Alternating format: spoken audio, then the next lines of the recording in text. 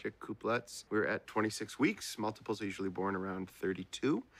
So I'm savoring every last minute of this pregnancy. I mean, just look at my gorgeous wife. I know what you're thinking. How did I get so lucky? I swear I have no idea. All I know is that this is what I've wanted my entire life to take care of my pregnant wife and a house full of kids.